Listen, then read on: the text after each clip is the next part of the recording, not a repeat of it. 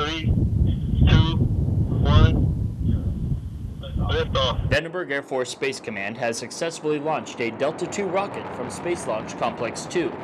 This rocket is carrying Worldview 2, a high-resolution remote sensing satellite, into polar orbit. Uh, Vandenberg actually gives you a very good, very good place to do what's called a southern polar orbit.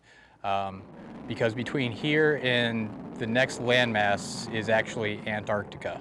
Um, so you're, you don't have to worry about overflight of any, any civic facilities or people or anything anybody's going to miss. Worldview 2 will join a constellation of satellites producing high-resolution world imagery products and services for defense, government, and commercial clients. Reporting from Vandenberg Air Force Base, I'm Senior Airman Ted Froats.